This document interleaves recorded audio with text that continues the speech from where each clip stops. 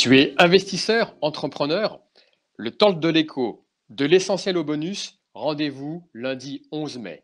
On te décrit, on te dévoile les 10 secteurs clés où il va falloir se positionner et investir.